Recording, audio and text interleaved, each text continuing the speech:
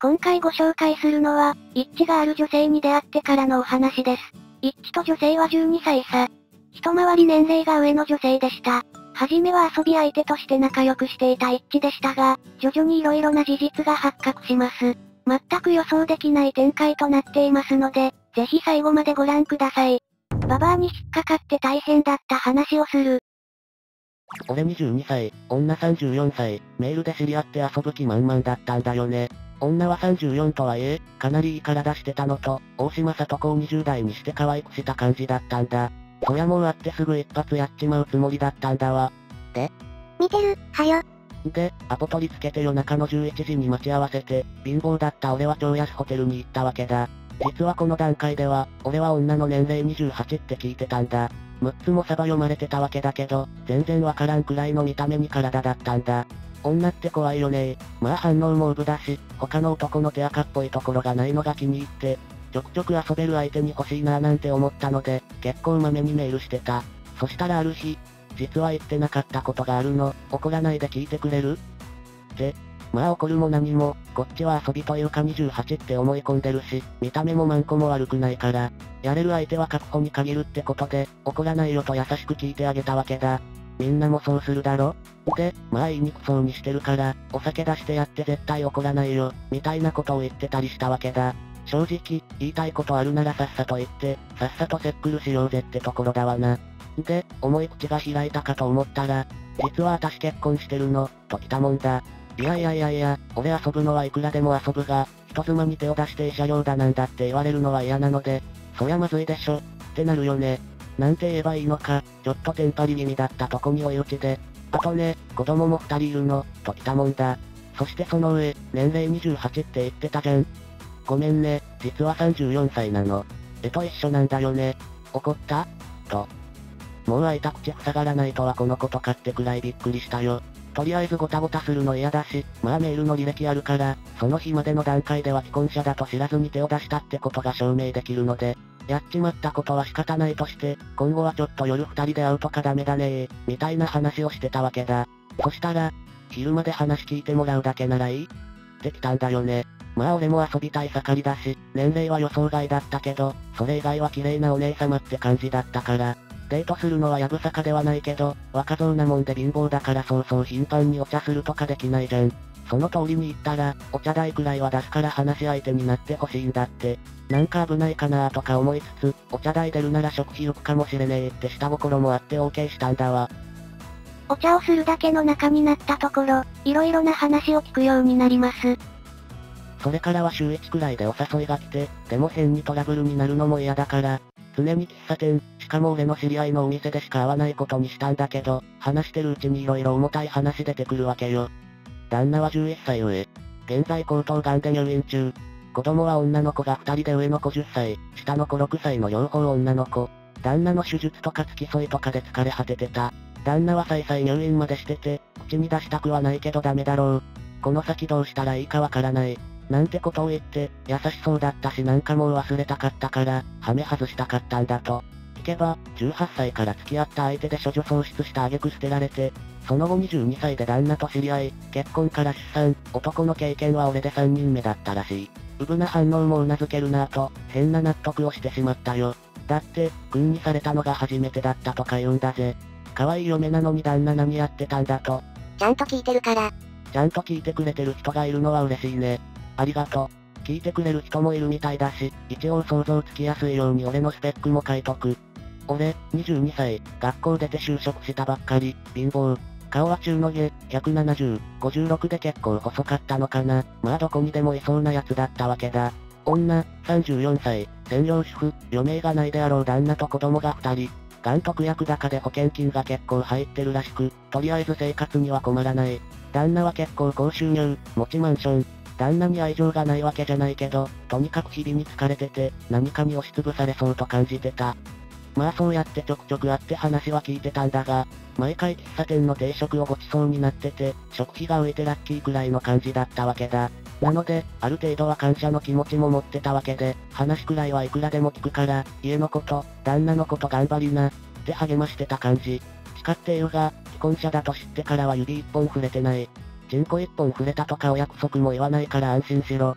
まあそんなこんなで、たまに喫茶店で飯食わしてもらう以外は、メールで話す日々が続いてたんだよね。俺からメールすることもあったし、あっちからは頻繁にメールが来てたんだけど、ある日突然メールが返ってこなくなった。まあ俺と会ったりするのに不毛なことに気がついたんだろうな。なんて思いながら、それならそれで仕方ないと思って忘れかけて、一週間ほど経ったところでメールが来た。なんか一週間ちょっとってところで、嫌な予感はしてたんだけど、案の定、先週亡くなりました。メール返せなくてごめんなさい。まだ色々とごたごたしてるんですが、気持ちを吐き出したいとき、わがまま聞いてもらっていいですか？ってメールが来たんだよ。俺身近な人が亡くなった経験ないから、なんて言えばいいかわからなかったんだけど、やっぱり抱いたことのある女で、話を聞いてたりして事情を知ってたりすると、弱ってるのをほっとけないって、変な男にスイッチが動作したんだよね。色々大変そうですが、頑張ってください。僕が何か言えることもないけれど、吐き出したい時はいくらでもメールしてきてください。やらなきゃいけないこと、手続き、いろんなことが済んだら、またご飯でも食べましょう。いつもごちそうになってたので、次は僕が招待しますね。なんてちょっとカッコつけたつもりのメール送ってたんだよね。まあそれからもちょくちょくメールは来てたんだけど、そこから1ヶ月以上は会うことはなかったよ。多分本人は四十九日と納骨済むまではけじめって考えてたんだろうな。直接聞いたこともないし、そっとしとく方がいいかなーってのもあったから、今となってはわかんないんだけどさ。で、久しぶりに来たメールでお茶でもしませんか？ってことになったので、前にメールで宣言してた通りに、俺がおごる形でランチに行ったわけだ。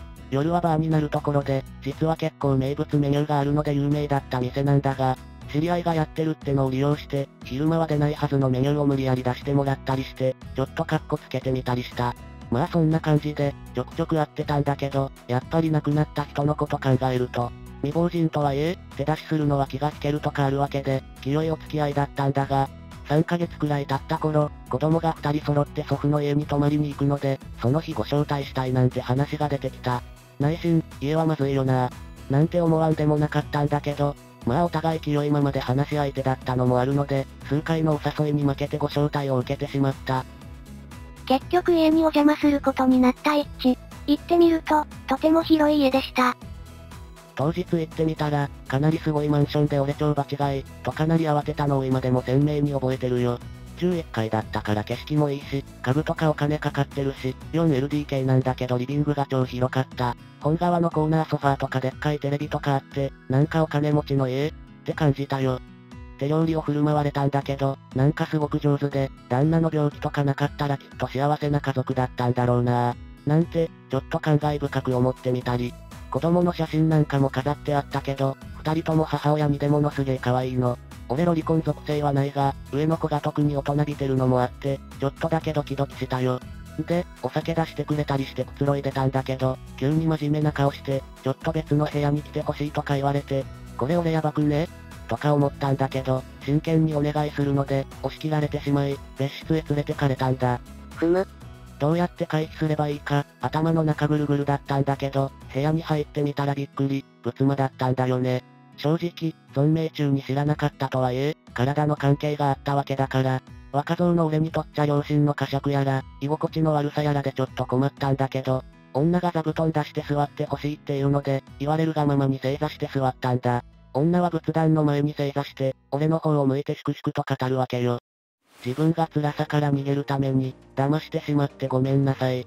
二人の前で、二人にちゃんと謝らないと、先に進めないので、無理を言いました。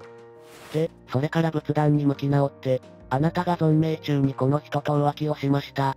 でも、この人は悪くなくて、私がこの人を騙してたんです。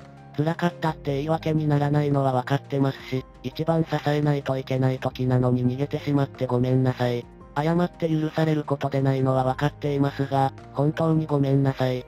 仏壇に向かって土下座してる。まだ大変じゃないな。大変じゃないか若造にはちょっとどう対応すればいいのか、ほんと困り果ててたんだよね。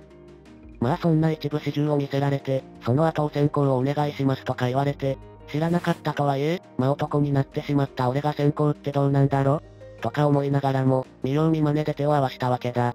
で、女が仏壇に向かって言うわけよ。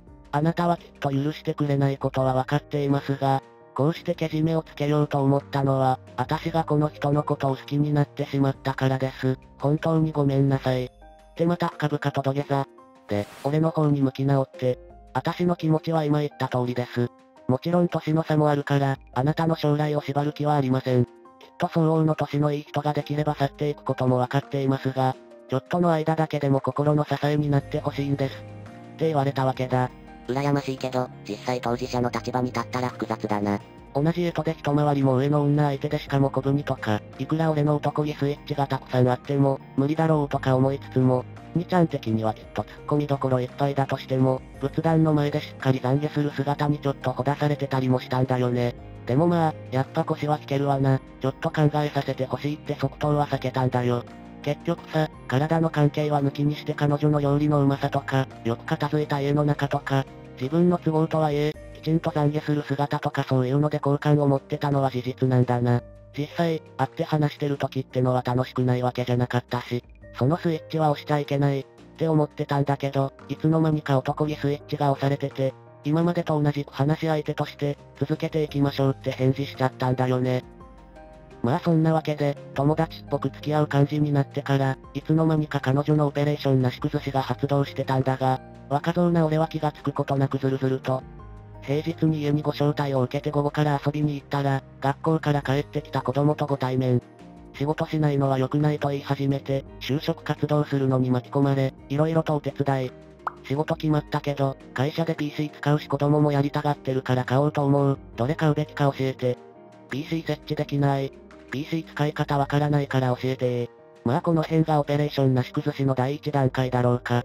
上の子が熱出してるんだけど、買い物行く間だけでいいから見ててほしい。この頃には、もう下の子はかなり懐いてたんだな。お馬さんやって、とか言われて、結構遊んであげたよ。下の子が俺くんとお風呂入るって言い出して、じゃあみんなで入っちゃいなさい。って上の子も、いやいやいやいや、ちょっと待て、下の子は小1だからまだいいとして、上の子4年生だろ？まずいだろ。てか、上の子は嫌がるでしょ、なんて言ってたんだけど、普通に3人で入ることになったり、下の子に、お父さんのより大きいとかマジで言われて、これどういうプレイですか？みたいな。断っておくが、俺は断じてロリコン属性はない。むしろ大人の女の方が好きなんだ。上の子が苦手な勉強があるらしく、ちょっと見てあげてほしい。一応学校出たばっかりだし、A ランまではいかないけど、そこそこいい学校でもあったから勉強は得意だった。女の子らしく算数が苦手で、丁寧に教えたらちょっと見る目が変わってたな。3月とか4月に、デートしましょう、今日は清掃で、って誘われて、スーツ着て行ったら上の子の卒業式、入学式のお祝いの会食。まあこの時点でわかると思うけど、4年生からずるずると2年経過してるわけですよ。居心地の良さとか、食事の美味しさとか、団らんみたいな空気で、子供の頃の家庭環境が悪かった俺は、そういう幸せに舞い上がってたのかもしれんね。週のうち、半分くらいは彼女の家に泊まる生活になってたんだな。とはいえ、旦那と使ってた寝室に立ち入るのも居心地が悪いので、俺ずっとソファーで寝てたけど、もちろん、彼女のことは嫌いじゃなかったし、幸せな環境も嬉しかったけど、さすがに一回り上で子供二人は手を出したらヤバいフラグだよなーって思ってたから、2年間一切性交渉はなしだ。自分の部屋に帰った日に、一生懸命抜いてたよ。信じられんことだか、なぜか彼女にミサを立ててて、ちゃんと自分が好きになれる相手と出会って、しっかり別れるまでは他の女と遊ぶのはやめとこうとか思ってたんだな、当時の俺。うむ。そんなわけで24にして、なぜか12歳と8歳の娘の父親役をやることになったわけだが、まあそれなりに満足はしてたんだよ。性的な部分はさておき、毎日幸せだったからね。でも、それも長くは続かなかったんだわ。上の子が中学に上がった時に、また二人とも祖父の家に数日泊まりに行くことになった。まあせっかく大人だけだから、たまには飲みに行きましょうなんてことになって、そんなに都会ではないけどそこそこの盛り場まで出て飲んでたわけだ。いい気分だったので、隙があったのか連れ込まれてしまいました。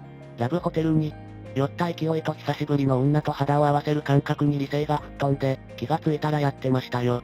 風邪ひきそうなんだけどパンツ履いた方がいいの？パンツ脱ぎたくなる描写はあった方がいいかね？どっちでもできるぞ。その時って俺24、女36なんだが、見た目的にはまだオーバー30には見えなかったんだよ。しかも2年前にした時から男経験は増えてないわけだし、やっぱりウブなんだわ。なんか、もう酔った勢いとはいえ、特大男気スイッチが押されてしまったわけですよ。後ろから抱きかかえながら、髪の毛撫でたりしつつ、ちょっと濃厚なキスしたり、36のババアのはずなのに妙に可愛く見えて、とにかく守らなきゃ、みたいな気持ちになっちゃったんだな。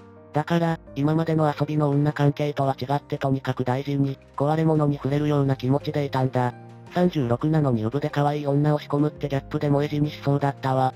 酒が入ってるから冷静じゃないのもあるんだろうけど、とにかく色々と萌えポイントが多すぎて、大変だったわな。そんなわけで、行った後に、やっちまったーって思ったね。なんつうかリアルに賢者モードになってしまったわけだよ。結婚。ないわこれ、きっと迫られるよなどう切り抜けよう。みたいなこと考えてた。多分さ、あの時俺かなり態度悪かったと思うんだ。そんなこと考えてるもんだから、終わってすぐタバコふかしたけど、気分いいもんじゃないよね。そしたらさ、彼女が泣くわけよ。俺も慌てて、タバコ消したんだけど、何も言わずに泣いてるから焦ったさ。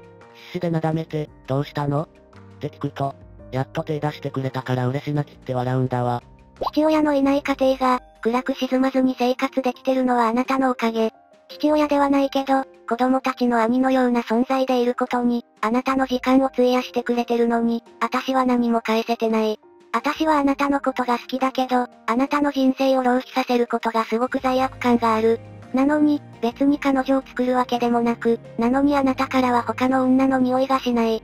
もっと私を都合よく使ってくれてもいいのに、何もしてこない。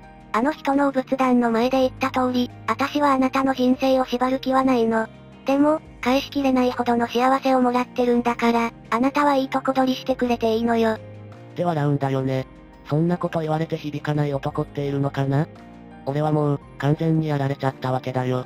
3人まとめて守らなきゃ、って思ってしまって、24歳なんて若いからすぐ考えが飛躍しちゃうんだよね。その日は何も言わずに過ごしたけど、結局数日後に、結婚申し込んでた。一回り上とか子供ありとか考えることはあったんだけど、そこまで俺のこと考えてくれてて、大事に思ってくれてるってなかなかないじゃん。プロポーズも若造にしては頑張ってシチュエーション作ったし、子供たちにはこっそり、毎日帰ってきてもいい？とか聞いて OK もらってたりした。気持ちもあるわけだし、断られる要素がねえって必勝の構えでプロポーズしたんだが、彼女からの答えはごめんなさいだったんだよね。今のあなたは浮かれてるだけ。もちろん私はあなたのことが好きだし、感謝もしてる。でも、結婚して一緒に暮らせば、あの人のことを思い出す私もいることを実感させられるのよ。それに一回り上って簡単じゃないと思う。あなたは自分の血が繋がった子供を抱けないのよ。そんな縛り方したくないの。それに、結婚で縛ったのに、私より若い人に心を奪われていくあなたを見ることになったら惨めじゃない？若いってことはそうやって心を奪われることがあるってことなのよ。だから縛らない。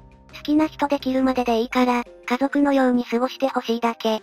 私はきっともうあなた以外に好きな人は作らないけど、あなたを縛りたくないのも本心なの。わかってね。って言われた。それでも引き下がらなかったら、10年後に同じことを言えたら考える。って言われて笑って流されたよ。ちょっと泣いてたりもした。家族のつもりで過ごすって意味ならうちに引っ越してきてもいいよ。って言われて、そのままずるずると同居状態で日が経ってしまった。続きはよ。彼女的に、パートナーとしてではなく、家族として同居となったけじめってことで、家の中でのセックルは絶対 NG だったんだけど、俺も自分の気持ちを整理してプロポーズまでしたわけだから、やっぱり抱きたくなるじゃん。ちょくちょくデートしてラブホに行ったりしてたわけだわ。だから、彼女がどう思っていても、俺の中では彼女はパートナーだったんだよね。大事にも思ってたし、10年後にも同じこと言おうと思ってたわけだ。同居もしてるし、お金かからないわけじゃないだろうと、途中からずっと自分の小遣いを除いて、給料全額入れてたりもしたさ。最初は受け取らなかったんだけど、何回も渡してるうちに根負けして、必要経費だけいただいて、あとは貯金しとくねって。よくできた彼女です。まあそんな幸せな日々はあっという間に過ぎて、俺32、彼女44。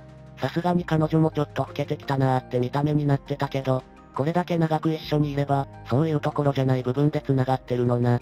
控えめで、俺の将来ばっかり考えてる彼女のことが大切で、まだまだバカップルみたい過ごしてたんだ。子供も大きいので二人で頻繁に飲みに出たりしやすくなったんだが、なぜかラブホに誘っても断られるようになった。体調が悪いからとか、気分じゃないからとか、気分じゃないわ。まあそういう時があっても仕方ないけど、飲みに出てるのに体調悪いで断られるのはいまいち納得できないよね。面白くなってまいりました。レスだけでどうこうなる関係じゃないとは思ってたけど、それでもやっぱり俺としちゃ不満はたまる。ちょっとした言い争いなんかもするようになった。タイミングも悪かったんだけど、その時仕事の関係で半年ほど遠くに出張しないといけなくなって、いろんなことに納得できないまま単身赴任してたんだ。月1くらいで帰ってはいたんだけど、俺がバカなのな。彼女がうまく隠してたとはいえ、全然変化に気がつかなかったの。半年の出張が終わり帰ってくると、一致は異変を感じます。半年の長期出張終わって帰ってきた時には、彼女痩せ細ってた。もともとスレンダーなんだが、もう痩せ衰えてた。出張中、俺が帰る時だけ化粧とかで隠してたのね。ちょっと大きめのプロジェクトの出張だったから、結構マジで打ち込みたいって話してたこともあって、彼女なりの気遣いだったんだろうね。気がつけなかった俺今でもぶん殴りたいよ。まあ結論から言うと、彼女も癌だったわけだ。しかも進行早くてオペできないレベル。俺が出張から帰るの待って入院の日とか、全部段取り済み。俺何のためにそこにいたのかわかんないよね。むこれは、腹立たしいやら情けないやらで、本当にどうしていいかわからなかったんだけど、彼女と話したさ。体の異変は俺の出張前、飲みに出た頃から気がついてたの？気がついてたからセックスを拒んだの？手術とか頑張ろうよ。いてくれなきゃ困るよ。なんでそんなに諦めてるんだよ。なんかやれることあるでしょうが。本当に大事に思ってるのに、なんでそんななの？もう何を言いたいかわからなくなってた。彼女曰く、異変に気がついたのは俺が出張に出てからだったらしい。忙しさにかまけて、ちょっとほったらかしてたらどんどんひどくなるので、仕方なく受診したところ癌発覚。しかも結構進行してて転移もある。癌の旦那を裏切った自分への報いだから仕方ないねと、変に往生際がいいの。俺が鈍感から気がつかなかったんだけど、ものすごい薬のようなんだぜ。医者に頼んで入院を俺が帰るまで待ってくれって。ふざけんなだよね。ちょ、釣りだよな。入院中に彼女言うんだ。私はしちゃいけないことをした。その報いがこれなら仕方ない。それでも、あなたと一緒に生活できて幸せだったんだよ。感謝の気持ちでいっぱいだもん。そんなこと言ってたよ。で、いつどうなってもいいように、寝室の収納の中にある封筒を持ってきてくれって、言われるがままに家に帰って、踏み入れたことのなかった寝室に初めて入ったんだ。ベッドサイドに旦那の写真があったんだけど、その横には俺と撮った写真飾ってあったな。封筒を回収して病院に持って行ったら、中から通帳出てきたんだ。俺が渡してた給料から必要経費除いた分、全部貯金してたらしい。すごい金額なの。おいおい。釣りだろ？俺その時まで知らなかったんだが、住宅ローンって保険がセットなんだってね。旦那が亡くなった時に、残りのローンは保険で一括支払いされるんだって。だから必要経費なんて食費と光熱費だけなのよ。で、あなたの人生のためにしっかり使ってください。って笑ってるんだよ。なんなんだろうね、この人。そんなお金より、彼女が生きててくれる方が嬉しいじゃん。医者に掛け合って手術できないかとか、彼女の説得とか、とにかくもう本当に一生懸命だったんだよね。貯金全額使ってもいいから、って保険適用外の薬とか調べたりしてさ。結局彼女は手術だけは同意してくれたよ。保険適用外の薬は絶対に嫌だって。でもさ、生きてて欲しかったんだよ。なんで分かってくれないのって、泣いたんだ。でもダメだった。結局手術だけはしたよ。開けて閉じただけ。ああ。それから1年くらい、入院生活続いたんだ。家のことは上の娘がやってくれてるから大丈夫だったんだけど、大学生で遊びたいだろうに、俺が家事あんまり得意じゃないからって、まっすぐ帰ってきてた。俺もっとしっかりしなきゃって思ったな彼女含む3人を守ろうって思ったわけだから、収入なくすわけにはいかないし仕事はしてたんだけど、あの頃の俺ってマジひどい給料泥棒だったと思う。外回りなのにサボって病院行ってたりしたもの。俺が34になったばっかりの頃、日曜日に付き添っててたんだけど、いろんな昔話するのよ。手を出して欲しかったのに全然気がつかない鈍感なんだから、とか、私からラブホに連れ込むのとか、すごく緊張したんだから、とかまあ鈍感については申し開きできないくらい鈍感だよね。半年の間何も気がつかなかったんだから、鈍感もいい加減にしないと、いろんなとこで恨まれるよって茶化されたりもしたよ。それから1週間後に彼女は永眠しました。それが今から2年前のお話。彼女が最後に言った言葉は、鈍感を指摘してあげたのに、まだ気がつかないのね。私のことは気にしなくていいから、ちゃんと考えて答えてあげてね。でした。鈍感まさか娘ルート？いろんなことが辛くて、気力も出なかったんだけど、それでも大学卒業したばっかりの娘はもっと辛いんだって頑張ったんだよね。模試ができず、表だって葬儀に参列できない立場なのが本当に悲しかったよ。色々なことで多忙に押し流されて、どうにか生きてたわけだけれども、彼女の最後の言葉がわからないまま、納骨を終え半年くらい過ぎたかな、上の娘から告白されました。彼女の最後の言葉に合点がいったわけです。俺にとっては、娘というか妹みたいな感覚でしかなかったので、びっくりでした。彼女とは一回り離れてたけど、娘とも一回り離れてて、俺の気持ちを抜きにしたって、一回りって年齢差は、簡単に埋まるものじゃないとか考えて、彼女もずっとこんな気持ちを持ってたんだなぁと実感してしまいました。冗談っぽくごまかして、ちゃんと好きな人見つけなさいって諭しました。母親と娘とかそれどんなエロゲって感じだし、やっぱり保護者でいるべきだと思った去年でした。さて、最後です。今俺は36歳。相変わらず、一緒には住んでますが戸籍は独身です。変な関係ですよね。今日は彼女の命日でした。上の娘から一通の手紙を見せられました。懐かしい彼女の字です。要約すると、上の娘に対する僕と彼女の馴れ初めから、旦那に対する裏切りの告白と懺悔でした。上の娘は、彼女が存命中に僕への気持ちを彼女に相談していたらしいのです。僕と彼女の関係を全て理解した上での告白でした。首を縦に振らない場合はこれを渡してください、と彼女の字で書いてあり、俺宛ての手紙もありました。ちゃんと考えてあげてください。私たちのことを知って、それでも告白したなら本気なのでしょう。娘の相談を聞いたことで、私の役目は終わりました。とっても大好きで、あなたに抱かれたいと思っていたのは本当だけど、あなたと娘と、将来ある二人のことを思うと、私はもうあなたに抱かれることはできない、という結論だったのです。あの頃何回も断っちゃってごめんね。本当はいっぱいしたかったんだよ。病床でこんなもの書いてたらしいです。すべてを知って、それでも気持ちを持っていてくれた娘に僕はきちんと答える必要がありますよね。明日までに答えを出そうと思います。長々ありがとうございました。ちょっとどうするべきか冷静に考えたく、語らせていただきました。実はですが、信じる信じないはお任せします。僕の彼女に対する気持ちは本物でしたが、いろんな意味で大変な出来事に付き合いました。まだ彼女のことを思うと泣ける自分がいますが、娘たちの保護者として生きるか、それとも別の選択をするか、どちらにしても後ろ向きばかりではいられません。吐き出す場があってよかったと思います。ありがとうございました。マジで一回り程度の年の差は問題ないだろ。特に娘ももう24なんだろ。全然問題ないな。問題はないんだけど、倫理的にどうなの？とか、俺もまだ彼女のこと整理できてるって自信持てなかったりするんだよね。その辺整理したくて、自分を見つめ直したくて自分語りしたってのもあるんだ。朝まで考えさせてくれ。申し訳ない、煽るつもりでもなく何気なく書いてしまった。ただ娘さんの気持ちを尊重することが娘さんと死んだ彼女のためにはなるんじゃないかとは思うよ。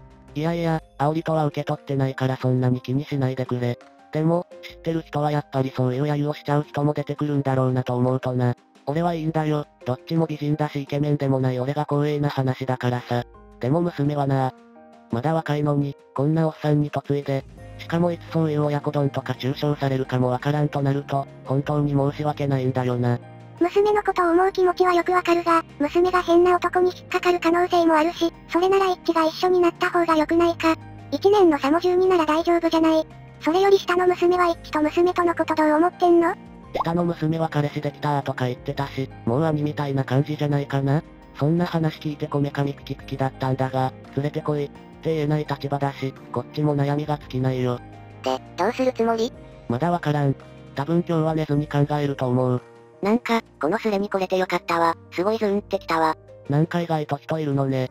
レスありがとう。質問あったら答えられる範囲で答えるよ。どうせ今日は寝れない。結果をぜひ報告してほしい。期待しています。結論を決めてすれ落ちてなきゃ報告するよ。ところでご近所や友達、双方の親族にはどんな関係だと思われてるんだ俺はもう家庭環境悪かったから、ほぼ断絶状態だな。近況も伝えてないしあんまり伝える気ないんだよな。彼女の親は母親だけ生きてるみたい。実家が結構遠くだから俺のことは話だけだけど、一応母親にのみ彼女が話しててくれたようだわ。電話でだけど色々感謝されたよ。自分でも変な関係だって思うよ。旦那の親は亡くなってるね。彼女の親しい友達には俺のことは話してたみたい。俺の友達には、彼女って言わないでくれって必死で頼まれた。ご近所さんは多分変に思ってるかもだけど、そんなに近所付き合いうるさいとこでもないみたい。分譲マンションってそんなもんなのかね結果報告してね。吉報待ってるよ。付き合って別れたら、その後は保護者にもなれないじゃん。それが一番怖いんだよね。そうなってしまうと、俺って彼女とのつながりがなくなっちゃうんだよ。結婚したとか、確固たる形があったわけでないからね悩みも尽きないですよ。年の差なんて関係ないよ。男の人はそのくらいがちょうどいい。いくつになっても甘えん坊だし可愛い。年の差はひとまず置いとくとしても、やっぱり娘の将来なんだよね。変な引っかかりがない、幸せな恋愛をさせてやりたいって気持ちが一番強いんだ。俺が相手ってそう言えるのか？って自問自答だよ。その子も24ならそういうこともある程度理解してると思うが、状況をよくわからない人間の無責任なレスと思ったら無視してくれ。彼女に自分が幸せにしてもらったと思うなら、その娘に返すのもありだと思うな。今までも十分にしていたんだと思うが、幸せにしてもらった分を返すのは、付き合ったり結婚しなくても返せると思うんだ。色眼鏡については、やっぱまあ人の善意を信じたくはあるね。でも娘はいろいろなことを知った上で覚悟を決めて一致に告白したんだろ。彼女にとっては一致と一緒になることが幸せなんじゃないの？もし断るなら一致は家から出ていくのか？気持ちには答えられないが見守りたいとか蛇の生殺しだぜ。自分も似たような形で苦しんだこともあったんじゃないのかね。そこなんだよね。父親ではないけど、今のところ保護者って感覚の方が強いのは事実なんだ。女として見れるかと言われれば、全く見れないわけじゃないけど、彼女に対する気持ちがあるから、時間がかかりそうな気もする。彼女が俺にしてくれたように、俺は娘にとって都合がいい存在でいればいいのかなとかさ。とりあえず付き合うのはいい、でもセックスはしない。いつでも保護者の立場に戻れる疑似恋愛で、様子を見るってのはどうなのかな。なんか中途半端だな。そりゃ難しい選択だろうし色々いきなり割り切れるもんじゃないだろうが、要するに一致は今のまま過ごして娘に好きな人ができたら心よく送り出してやろう、とか考えてるんだろ？自分はどうだったんだよ？娘が現状維持に納得して12年経てば36だぞ。その時娘には子供もいなければ夫もいないのか？今言ってることはお前に都合のいい相手になれって言ってるんじゃないのか？多少時間かけてでも女として見て一緒に生きていこうってんじゃないなら、関係をきっぱり切ってやった方がいいんじゃね？これだな。いくら俺でも12年はほっとかないけどさ。でも、昔彼女が言った。結婚で縛ったのに、私より若い人に心を奪われていくあなたを見ることになったら惨めじゃない？若いってことはそうやって心を奪われることがあるってことなのよ。だから縛らない。これがすごく実感できるんだよね。24歳って若いじゃん。娘は少なくとも20歳以前から俺のことが好きだったわけで、全然他の男見てないんじゃないの？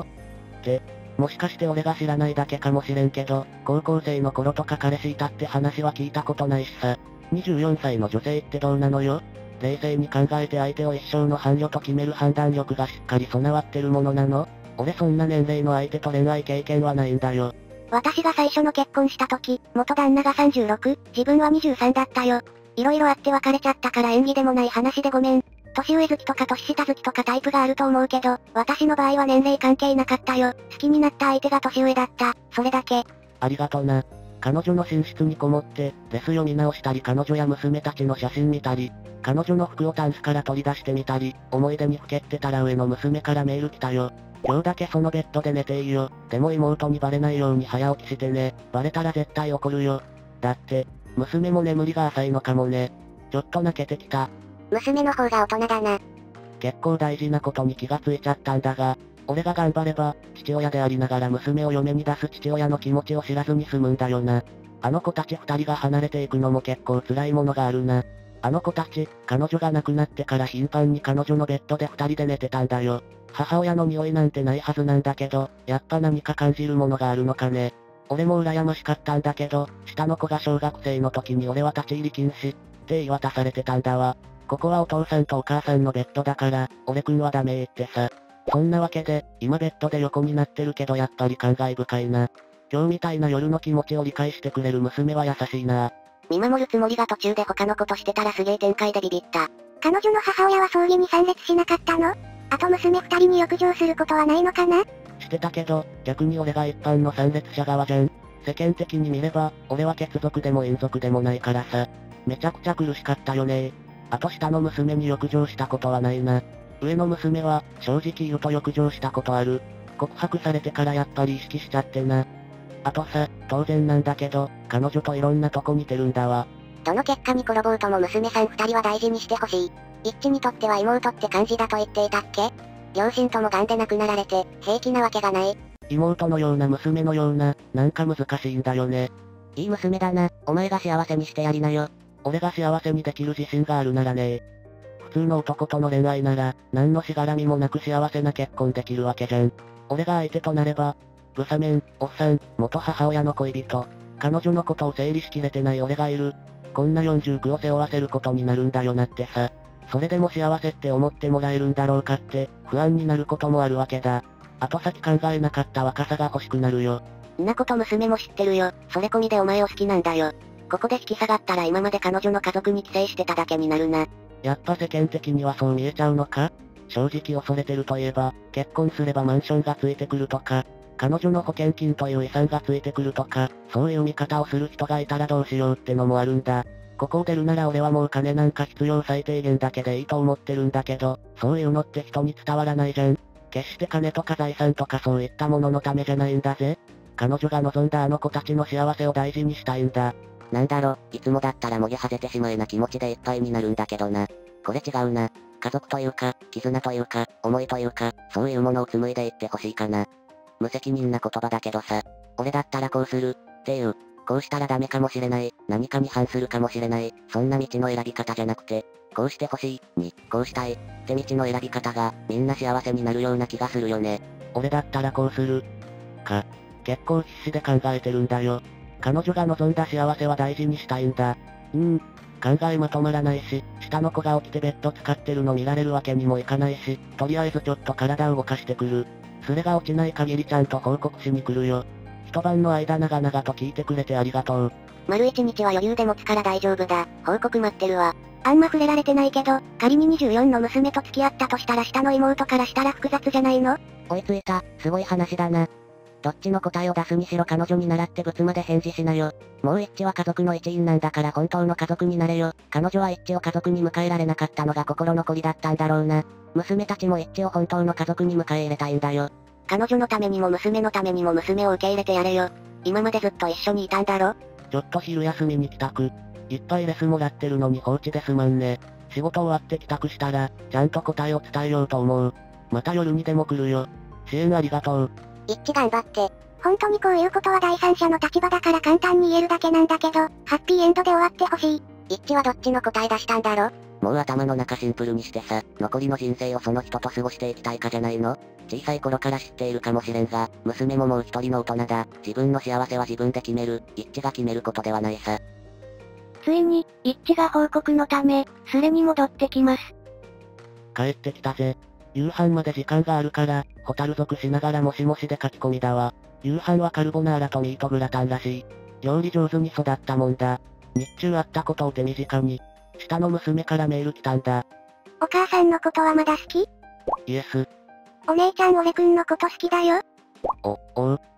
でもお姉ちゃん、お母さんのことも大好きなんだよね。だよね。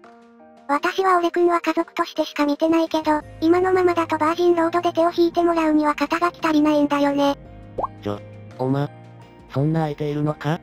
俺くんとお母さんがどういう関係だったかもなんとなくわかるけど、それを飲み込んでのお姉ちゃんの気持ちも理解してあげてね。ですよね。なんてやりとりをいくつか。どうやら賛成らしい。なんだか、一番ちゃんとできてないのって俺じゃねえか？って気がしてきたよ。とりあえず夕食済まして、ちゃんと話してくる。報告待ってます。待ってるぞ。いい娘に育ってんな。電車の中で泣きそうになったぞ、この野郎。いい娘たちだな。すごいしっかりしてるじゃん。報告待ってる。一致、男気見せてるか？報告待ってる。しかし二人とも素敵な娘さんに育ったね。これは人生最大の決断になりますな。後悔しないようにな。やっぱり女ってすげえな。肩書きが足りないんだよね。って発想は男には出ないな。安易に背中押せないが、一致の誠実さを娘さんはずっと見てたんだろうな。どんな選択をしても俺は賛同する。俺も結婚してるが、俺に一致みたいな誠実さと、我慢と、気力体力根性は足りないな。結婚は人それぞれ、波乱万丈がある。結婚はお互いの苦難を乗り越えて初めて心も体も結ばれると思うんだ。幸せになってくれ。ああ、遅くなってしまって、こんなにレスもらってすまん。待ってた。姉、妹と個別面談してその後3人で話してて長くなった上に、昨日寝てないからちょっと落ちてたみたい。申し訳ない。姉とのお話。僕まだお母さんのこと大好きなんだよね。うん、知ってる。だから好きなんだ。でも、告白は嬉しかった。ん正直言うと、最近はもう、妹と違って、姉のことを女って意識しちゃわないわけでもない。う、うんでも、僕とお母さんのことを知ってる人からすれば、倫理観を疑われかねない。それは、僕にとって一番辛いのは、君たちの人生に関われなくなることなんだ。ん？姉は倫理観のようなものに負けないでいられると思う？一緒なら大丈夫だと思う。かいつまんで言うとこんな感じ。256の最後の倫理観のようなものを、がよくわからないのですが、解説お願い。俺の元々のポジションって彼女、母親、の恋人なわけじゃん。親子丼みたいな揶揄をする人も出てきかねない。世間体みたいなもんだよね。これまでの人生で、俺は人に後ろ指刺されるようなことはしてないと思うけど、姉の気持ちを大事にすることも、世間体や倫理観に外れないかと言われると正直自信ないんだよね。おつ、つまり、結婚して家族になるってことだよな。養子ではなくいや俺色目線でしか見てなかったけど、なんか複雑だね。家族にならなきゃ、人生に関われないってのがどうもね。ともあれオツでした。結婚とかいきなり飛躍してはいないよ。20代の思考がすぐ飛躍してた若さは今の俺にはない。家族を幸せにすることを第一に考えたらおのずと答えは出そうだ。本当の家族になりなよ。妹とのお話、俺くんさ、鈍感だよね。鈍感力には定評があります。さあせん。どうすんの？決めてたとしても先に言うべき相手違うよね。お兄ちゃんにしては年離れてるし、お父さんにしてはちょっと頼りないけど、私にとってはもう大事な家族なんだよね。ありがとう。でも、この家を客観的に説明したら、親を亡くした若くて美人姉妹とそこに居候する中年男じゃん。私も姉もそんなこと思ってないけどさ。だよね。彼氏を紹介しようにも、彼氏に紹介しにくい俺くんの立場って微妙じゃんね。彼氏いるのか？どこのドイツだ？連れてこーい。姉の旦那さんってポジションも考えてよ。バージンロードで手を取ってもらいたいってのもあるんだから。だから、相手誰なんだお姉ちゃんから聞いたけど、ずっとお母さんのベッド使わずにいたって本当？うん、まあ妹との約束だからな。でもごめん、昨日約束破った。ほんとごめん。姉から聞いてるから気にしてないよ。お、おう。お姉ちゃんと一緒なら使っていいよ。きっとお母さんも喜ぶよ。いや、まだ結論出したわけじゃないんだけど。でもうちの中でしないでね。いや、だから結論はまだだと。どうも妹にはからかわれてる感が。まあ性格なんだろうかね。会話もテンポいいしコミュ力も高いし、二人姉妹といえ末っ子スキルというやつだろうか。そして、後で気がついたけど、彼氏の有無ははぐらかされてた。あと部屋から出てく時にボソッと爆弾発言してきよった。お姉ちゃん、多分俺くんが彼氏になれば初彼氏だよ。ニヤニヤ。妹さんいいキャラしてんな。姉さんは一致のことが本当に好きなんだな。妹は小悪魔だな。三人でのお話。急に環境を変えるのは怖いし、僕にとっては今のところ保護者って感覚が強い。でも姉の気持ちは嬉しいし前向きに考える。だからこんな中年男でもよかったら、付き合ってやってください。なんてことをちゃんと言ったよ。緊張するもんだね。姉は泣いてたし、妹は喜んでた。これでよかったんだなってちょっと思えたよ。あとはまあ、雑談やらしながら妹が出してきたお酒をちょっと飲んでたんだけど、昨日徹夜してるからか、眠気マックスで姉に連れられて彼女のベッドで寝てたらしい。さっき目が覚めたら、彼女にそっくりな姉の寝顔がすぐそばにあってびっくりした。まだ、何もしてないぞ。もうしばらくは俺も彼女に対する気持ちの整理が必要だし、墓参りと彼女の祖母にきちんと話して、許しを得てからじゃないと先に進めないよ。ちなみに、姉の気持ちは18歳の時からだったらしい。6年越しとは参った。そして、飲んでるとはいえ爆弾発言をいくつかばらまいて、それでも憎めない妹はいいキャラしてるよ。お疲れ、よかった。でもエロこねー。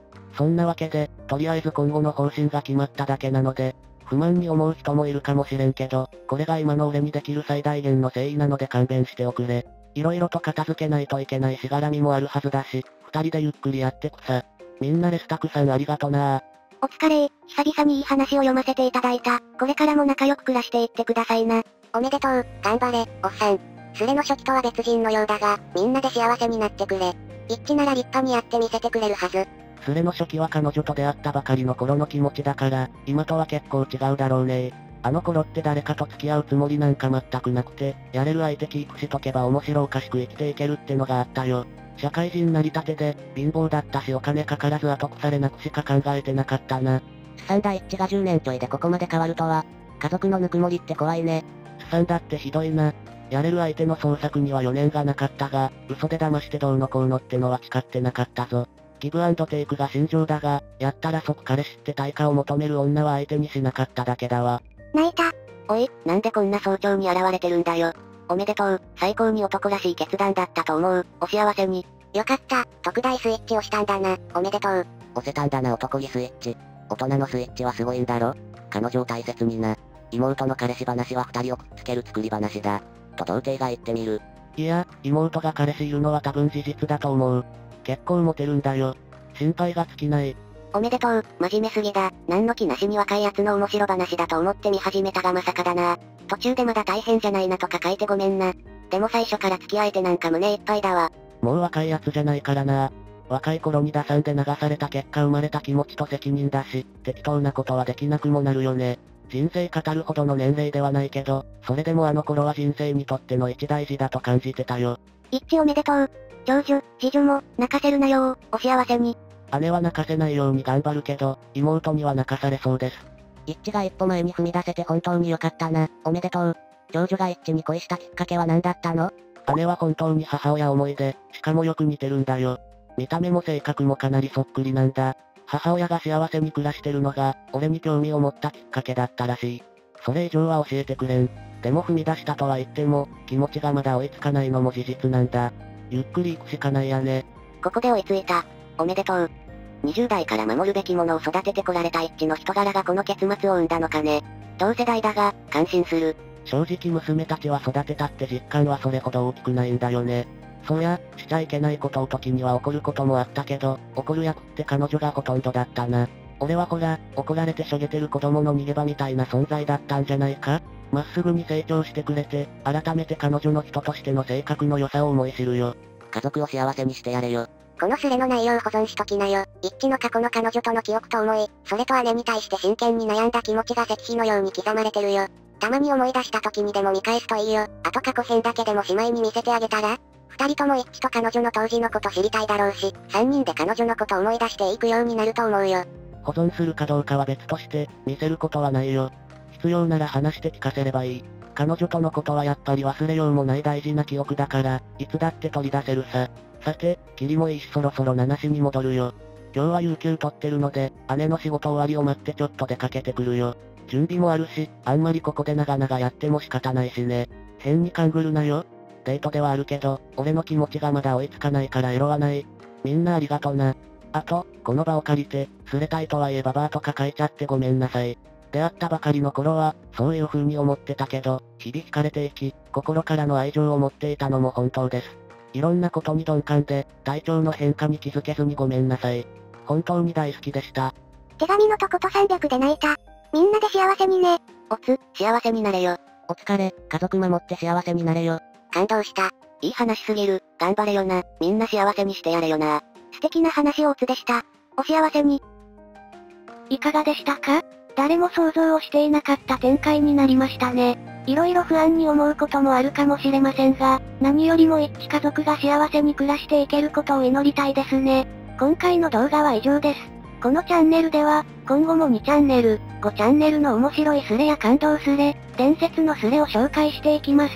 よろしければチャンネル登録とグッドボタンをお願いいたします。最後までご視聴いただき、ありがとうございました。